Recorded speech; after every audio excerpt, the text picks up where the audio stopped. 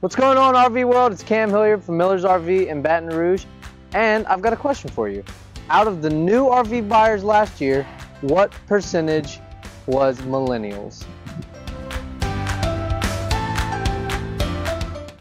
Okay, so before I answer that, go ahead, like this video, subscribe to our channel, and turn on post notifications because we answer questions like that and we show you cool products like what's behind me.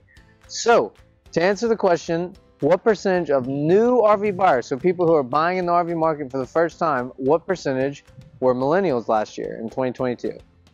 The number might surprise you a little bit. 65% of new buyers were millennials. So that brings a question. Why are they buying? What are they buying? That's a easier question to ask than it is to answer. So they're, they're buying things from, from big and small, old, new, all that good stuff. But what I'm standing in front of is a Hike 100 by Winnebago. We've had, this is a new product that has just come out in 2023, so the, the big, you know, 65% of buyers who were millennials last year have not got to check this out. But I think this product could be really well suited for millennials who, who basically uh, want to do something that's not staying at hotels, want to do something that's not even particularly staying at campgrounds. Basically, they want to go places that are kind of off the beaten path. They want to see more, do more, without um, basically without being confined to one space or without being surrounded by a bunch of people. So the Hike 100 series does a great job at capturing the adventurous spirit that lives within a lot of people, especially millennials. So the Hike 100 that I'm standing in front of, this is going to be standard on them. We're going to basically not go over a specific floor plan. I might show you one here or there. But basically go over the features that make this really, really good for getting away from society, getting away from people and exploring. So the bars that you see on the front here go on the front, they're around the sides, and then even you've got similar bars that are on the top. Those are great for attaching a kayak to or a bike to, or even you can put an ice chest, um, kite surf. If you want to go kite surf, you can attach your equipment up to that. Snowboards, you can put snowboards, skis, anything up there. So that could work really well. Now you ask, how well will it do in a cold climate? Well, it's going to do great in a cold climate. So the Hike 100 has much more, it, it's so uh, standard insulation on an RV is going to be about an inch and a half thick. Insulation like your sidewalls and your floor as well on a Hike 100 are going to be two inches thick. So it's thicker insulation. That's what even even that's what what's in a normal Micro Minnie to my right. The Hike 100 has done.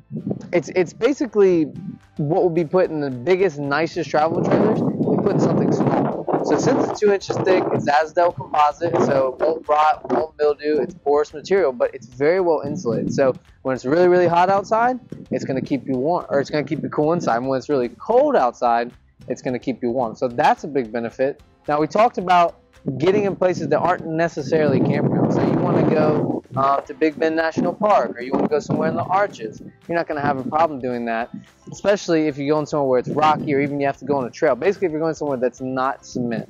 Um, so, or not a paved road, I guess I can put it. So this has a torsion flex stud axle on either side. It's also got a shock absorber on either side. So it makes it handle really, really well whenever you're going over bumps. So we have terrible roads in Louisiana if you're going over Louisiana roads. Or, like I said, if, if you're somewhere that's not paved. So if you want to go somewhere that nobody else has seen before, take the Hike 100. It's perfect for it.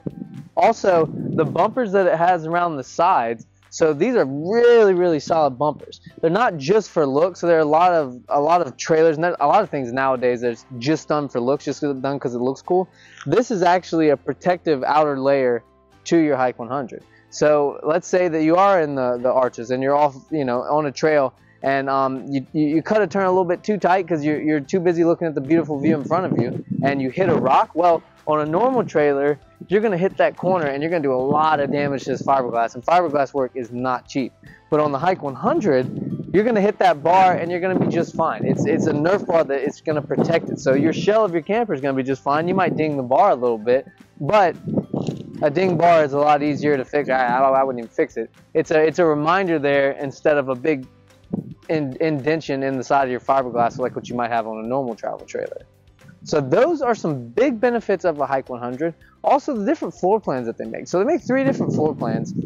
One of them is going to be, I would say, the more mild of the three, where it's basically just sleeping area, bathroom, and then of course you got like a, a small little um, food preparation area. But the other two, so you've got one that's got dual doors at the back. We, we did a walkthrough on that. You want to check it out. Basically, it's a toy hauler um, that's very small, so you're going to like that. We, we should have teaser videos on all these, but also the other one has uh, basically like a half door. If you've seen any of the Micro Minnie floor plans with the any of the bunkhouse floor plans, it's got that little half door. It's got the same door as that, except it's on the rear of the trailer.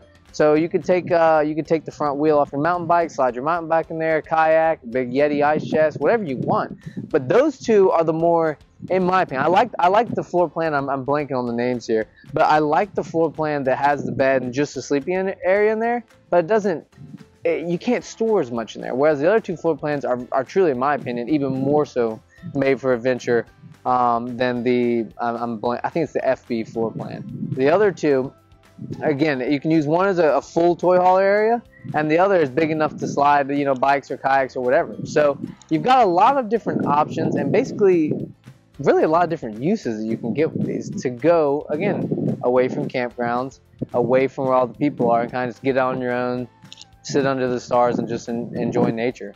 Um, so you know, this video is targeted at millennials. I think this could be a great trailer for you. And a big benefit too is this actually demographic. I don't know the, the, the stat number that supports this, but a lot of millennials have ha half-ton vehicles or smaller vehicles, like whether it be a 4Runner or Tacoma. Typically, and again, I don't know the exact number, but millennials have a higher concentration of smaller vehicles than what like your boomers do in other generations. Um, so basically, if you have that 4Runner, Tacoma, or a Jeep, this Hike 100 is built for you. It's a very, very lightweight trailer. Fully loaded, it's 4,200 pounds. Empty, so as it sits exactly right here, it's 3,100 pounds.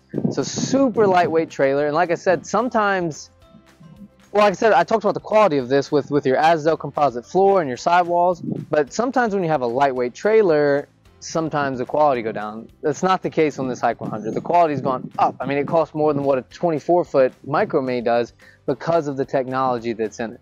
So again, if you've got a smaller vehicle, whether it be a, Chevy Colorado or, or a Jeep or um, you know a 4Runner or anything like that that can tow, I would probably like you know you probably might want to leave yourself a little Safeway, maybe around 4,500. It just depends on what you're comfortable with. Because like I said, empty this thing's only 3,100 pounds whatever you're comfortable with, and if you want us to advise you on, you know, right tow vehicle for trailer, we'd be happy to do that. But anyway, so this offers a lot of different people a great option to get a trailer that's really, really nice, really capable, without having to buy a new truck or without having to, you know, buy some big trailer you can only fit in a campground. You can take this anywhere. So the Hike 100, if you're a millennial, if you want to get out in the open and experience nature, check out these Hike 100s.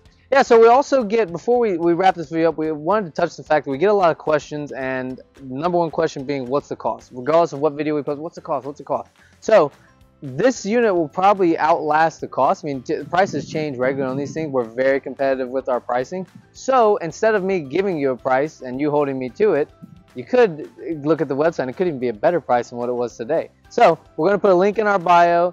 Check out our website. We've got all live pricing on everything that we've got on the lot. So you can check out that way or give me a call, schedule an appointment, and we'll show you these things around. So we appreciate you guys stopping by. Like I said, any questions, don't hesitate to ask. And as always, enjoy the journey. Hey there, thanks for watching this video. So we want to remind you again to like this video, subscribe to our channel, and turn on your post notifications so we can keep you updated with the best that the RV industry has to offer. If you want to stick around and watch some more videos, we've got a link for two videos here. So we'd love for you to stay and look at that. And if there's anything else that you want us to do videos on, leave comments. Thanks, guys. Enjoy the journey.